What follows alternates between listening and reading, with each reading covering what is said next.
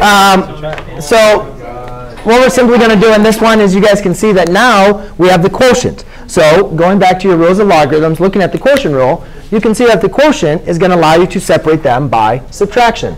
So it would be log base 5 of x squared minus log base 5 of y. Then, just like in the last problem that we did, whenever we have a term raised to the power, we're going to rewrite that as multiplying that in front. Yes, Crystal, 2 log base 5. Okay.